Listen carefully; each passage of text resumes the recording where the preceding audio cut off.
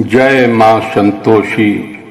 वैसे तो सभी माताएँ बहनें संतोषी माता के बारे में अवश्य ही जानती होंगी।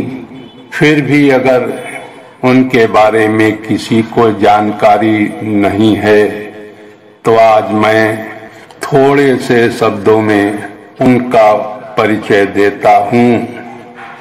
संतोषी माता, भगवान गणेश की पुत्री और माँ दुर्गा का अवतार हैं। माँ संतोषी का व्रत शुक्रवार को रखा जाता है। भोग में गुड़ और चना चढ़ाया जाता है।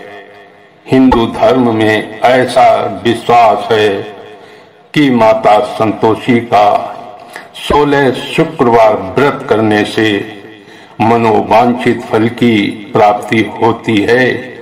ईश्वर भक्ति से आध्यात्मिक शक्ति मिलती है, जिसकी वजह से इंसान धैर्य और संतोष रखकर अपने कार्य को करता है और सफलता पाता है। माता संतोषी के पूजन से पूर्व इतनी विनती माँ से अवश्य ही कर लें। हे माँ संतोषी सच्चे हृदय से मैं आपका स्मरण करता हूँ। माँ, मुझे इतनी शक्ति देना कि जीवन में हमेशा संतोष का भाव मन में बना रहे। जय माँ संतोषी।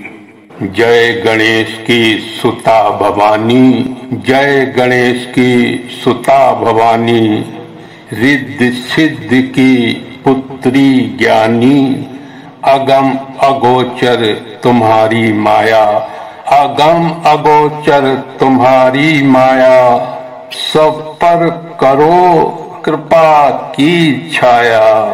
जय माँ संतोषी।